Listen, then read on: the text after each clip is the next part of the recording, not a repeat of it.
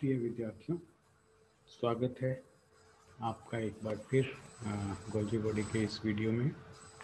हम इसकी ultra structure के बारे में बात करेंगे।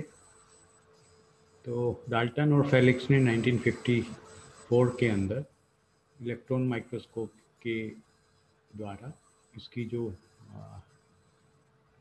विशिष्ट अल्ट्रा स्ट्रक्चर है, उसका अध्ययन किया उन्होंने और उन्होंने बताया कि ये तीन पार्ट्स का मिलके बना हुआ होता है और ये तीन भाग जो हैं, ये कहलाते हैं cisternae Golgian vacuoles and vesicles तो सिस्टर्नी वैक्यूल्स और वेसिकल्स ये तीन मिलकर गोल्जी बॉडी की संरचना को बनाते हैं। सबसे पहले सिस्टर्नी की अगर हम बात करें तो सिस्टर्नी जो है, ये फ्लैटन सेक्स हैं, जिन्हें सेकुलस या पैरल मेम्ब्रेन्स भी कहते हैं। ये इलोंगेटेड डबल लेयर स्ट्रक्चर हैं, जो फ्लैट या कर्व्ड हो सकती हैं और जिनके एंड्स जो हैं वो सोलन रहते हैं। और ये एक दूसरे के ऊपर उपस्थित रहती हैं और इनके अंदर जो है स्पेस होता है। जो सोलन एंड्स हैं सिस्टर्नी के, उनको गोल्जियन वैक्यूल्स बोलते हैं। और जिनका जो साइज़ है वो 180 एमस्ट्रॉन्ग से लेकर 230 एमस्ट्रॉन्ग तक साइज़ हो सकता है। और जहाँ तक इसकी मेम्ब्रेन की थिकनेस का सवाल है, इसकी मेम्ब्रेन की थिकनेस 60 से 70 एमस्ट्रॉन्ग तक होती है। लगभग उतनी ही जितनी प्लाज्मा मेम्ब्रेन की होती है। और जो इंटर सिस्टर्नल स्पेस है इंट्रस्ट सिस्टर्नल स्पेस यानी जो विद इन सिस्टर्न के अंदर वाला जो स्पेस है, वो 60 से 90 एमस्ट्रॉन्ग तक होता है। ये सिस्टर्नी जो होते हैं, ये तीन से बारह की संख्या में एनिमल सेल्स के अंदर पाए जाते हैं, जबकि प्लांट सेल्स में इनकी संख्या 10 से 20 तक हो सकती है।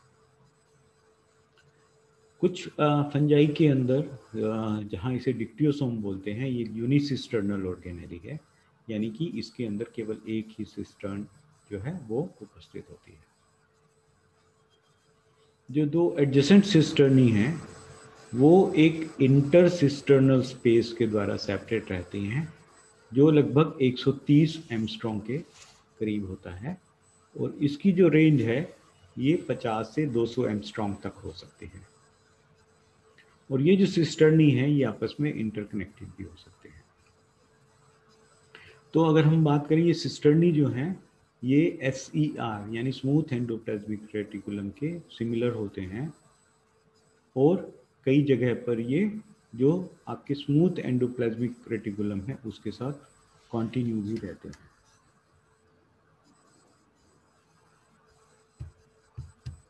जहाँ पे ये सिस्टर्नी कंटिन्यू नहीं होते, आपस में एक दूसरे से जुड़े हुए नहीं हैं। वहाँ पे ऐसी कौन सी फोर्स है जो इन सिस्टर्नी को पास पास रखती है? This is still not yet clear इसके बारे में अभी बहुत ज़्यादा नहीं पता है। एमोस और ग्रिमस्टोन ने 1968 में सजेस्ट किया कि एक thin layer of dense material जो कुछ रीजन्स के अंदर थिकन रहता है, ये ग्रेन्यूल्स को फॉर्म करता है इंटर सिस्टर्नल स्पेसिस के अंदर। तो जो दो सिस्टर्नी के बीच में जो स्पेस है, वहाँ पे एक डेंस थिकंड मटेरियल प्रेजेंट होता है। जो प्रोबेबली एक सीमेंटिक सीमेंटिंग मटेरियल की तरह काम करता है और सिस्टर्नी को एक साथ जोड़े रखता है। तो जो सिस्टर्नी मेम्ब्रेन्स हैं सिस्टर्न की जो मेम्ब्रेन है, वो फेनेस्ट्रेटेड हो सकती हैं, यानी कि उनके अंदर पोर्स प्रेजेंट हो सकते हैं रेटिकुलेटेड हो सकते हैं, जो डेवलपमेंटल स्टेजेस के हिसाब से वेरी करती रहती है। दूसरा जो स्ट्रक्चरल पार्ट है गोल्जी बॉडी का, उसे हम गोल्जियन वैक्यूल्स बोलते हैं। ये जो वैक्यूल्स हैं, ये स्फेरिकल कंपोनेंट्स हैं, जो लगभग 600 सौ एमस्ट्रॉन्ग डायमीटर के अंदर होते हैं। और ये जो कनकेव साइड है सिस्टर्नी की, अभी हम डायग्रामेटिकली देखेंगे इसको, कि कहाँ इनकी उपस्थिति होती है। तो जो कॉन्केव साइड है उसके अंदर जो है गोल्जियन वैक्यूल्स वहाँ पे प्रेजेंट होते हैं। और इनका साइज़ जो है, वो हाईली वेरिएबल होता है, जो 500 से 2000 एमस्ट्रॉन्ग के बीच में होता है। epithelial cells of PCT of nephrons and 760 to 6000 angstrom in patella. Patella के अंदर इसका जो साइज़ है, वो वैक्यूल्स का 760 से 6000 एमस्ट्रॉन्ग के बीच होता है। इनका जो फॉर्मेशन है, या तो ये सिस्टर्नी की एनलार्जमेंट के कारण होता है बनता है, या ये जो सिक्रेटरी वेसिकल्स हैं, उनके फ्यूजन के द्वारा गोल्जन वैक्यूल्स का निर्माण होता है। इन वैक्यूल्स के अंदर एक एमॉर्फस और ग्रेनुलर सब्सटेंस जो है, वो भरा रहता है। ये जो वेक्यूल्स हैं, ये जो मेच्योरिंग फेस है तो अभी हम बात करें, अभी डायग्रामेटिकली मैं आपको दिखाऊँगा कि किस प्रकार से इसकी जो दो सरफेस गोल्जी बॉडी की हम कह सकते हैं। एक कहलाती है फॉर्मिंग फेस फॉर्मिंग सतह, और दूसरी कहलाती है मेच्योरिंग फेस जहाँ से मेच्योर होकर वैक्यूल्स जो हैं कॉन्टीन्यूसली बड ऑफ़ करते रहते हैं। और जो इसकी फॉर्मिंग फेस है, वहाँ पे वेसिकल्स आकर कॉन्टीन्यूसली जुड़ते रहते हैं। तो ये जो वैक्यूल्स हैं, इनके अंदर ग्रेनुलर सब्सटेंस भरा रहता है और जो मेच्योरिंग फेस है, वहाँ से ये कॉन्टीन्यूसली बड ऑफ़ करते रहते हैं, वहाँ से ये निकलते रहते हैं। इसको कंपनसेट होता है न्यू सिस्टर्नी जो सिस फेस हम या जो फॉर्मिंग फेस बोलते हैं, उस फॉर्मिंग फेस से कॉन्टीन्यूसली नई सिस न्यू सिस्टर्नी जो है, वो उनके फॉर्मेशन होता रहता है, जो इसको वैक्यूल्स के फॉर्मेशन को कंपनसेट करते रहते हैं। तीसरा इसका जो स्ट्रक्चरल कंपोनेंट है गोल्जी बॉडी का, उसे हम वेसिकल बोलते हैं। वेसिकल जो होते हैं स्मॉल साइज़ कंपोनेंट्स हैं, जो लगभग 40 एम स्ट्रॉन्ग डायमीटर में होते हैं। और ये जो कॉन्वेक्स सरफेस है सिस्टर्नी की, वहाँ पे उपस्थित होते हैं। वेसिकल्स जो होते हैं, दो टाइप के होते हैं। एक कहलाते हैं स्मूथ और सिक्रेटरी वेसिकल्स जिनके अंदर सिक्रेटरी प्रोडक्ट्स होते हैं एलजी एंडोप्लाज्मिक रेटिकुलम और गोल्जी बॉडी के। और जब ये सिक्रीशंस हाईली कंसंट्रेटेड हो जाते हैं then these are called zymogenic vesicles दूसरे जो पार्ट है, इसका वो कहलाता है कोटेड वेसिकल्स कोटेड वेसिकल्स जो होती है, इनकी सरफेस रफ होती है और यूजली ये कॉन्वेक्स सरफेस के आसपास रहते हैं। तो ये हम स्ट्रक्चर है गोल्जी बॉडी की, इसको समझने का प्रयास करते हैं। ये जो है दीज आर कॉल्ड सिस्टर्नी ये सिस्टर्नी है, यहाँ पे मैं कर्सर मूव कर रहा हूँ। और ये जो स्पेस है दो सिस्टर्नी के बीच में इसको हम बोलते हैं इंटरसिस्टर्नल स्पेस। ये जो सरफेस है, ये मेच्योरिंग फेस कहलाती है और ये जो फेस है, ये फॉर्मिंग फेस कहलाती है।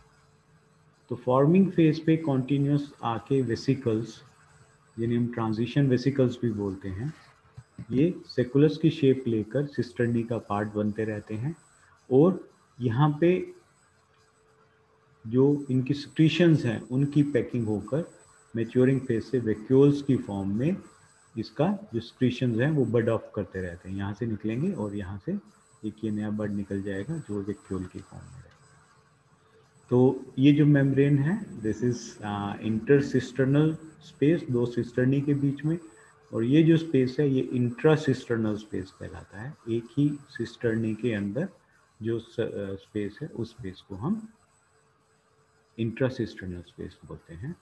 ये जो कॉन्वेक्स सरफेस है, ये फॉर्मिंग फेस सरफेस कहलाती है। और ये जो है कॉनकेव सरफेस जो है, वो कॉनकेव सरफेस मेच्योरिंग फेस कहलाती है कोल्जी बॉडी रिचर्डसन और ब्राउन ने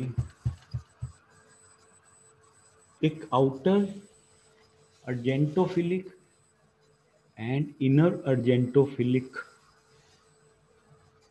Golgi body के अंदर रीजन को डिफ्रेंशिएट किया on the basis of silver absorbing capacity मतलब इस गोल्जी बॉडी के अंदर कुछ पार्ट्स ऐसे होते हैं जो एजेंटोफिलिक यानी कि सिल्वर के प्रति सिल्वर ग्राही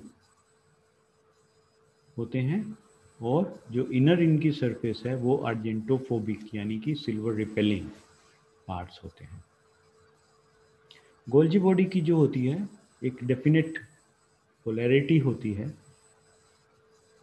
इसकी जो कॉनकेव साइड है, वो हमेशा सेल मेम्ब्रेन की तरफ़ डायरेक्ट रहती है, उसको फेस करती हुई होती है, और उसको हम मेच्योर फेस मेच्योरिंग फेस या ट्रांस फेस बोलते हैं। और ये जो सरफेस है, यहाँ से, जैसा मैंने पहले बताया कि गोल्जियन वैक्यूल्स जो हैं वो बर्ड ऑफ़ करके या स्क्रिटी वेसिकल्स या लाइसोसोम्स या जाइमोजेनिक ग्रेन्यूल्स जो हैं, वो इस सरफेस से निकलते रहते हैं और टुवर्ड्स द न्यूक्लियस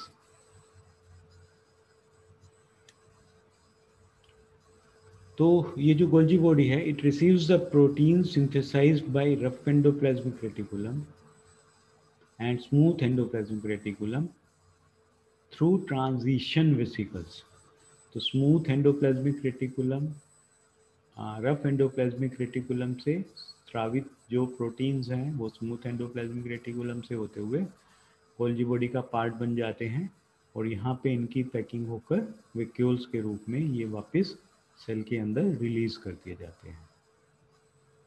कोल्जी बॉडी जो होता है, उसके चारों तरफ़ एक क्लियर साइटोप्लाज्म का रीजन होता है, जहाँ पे राइबोसोम्स माइटोकॉन्ड्रिया और ग्लाइकोजन जो है, वो सब अनुपस्थित होते हैं और इस जोन को बोलते हैं जोन ऑफ़ एक्सक्लूजन इस वीडियो में इतना ही। अगले वीडियो में हम इसकी केमिकल कंपोजिशन और ओरिजन के बारे में बात करेंगे और फिर फाइनल वीडियो के अंदर हम जो है, इसके फंक्शनिंग जो है, इसके फ़ंक्शंस क्या है, उसके बारे में बात करेंगे। Thank you very much for watching this video thank you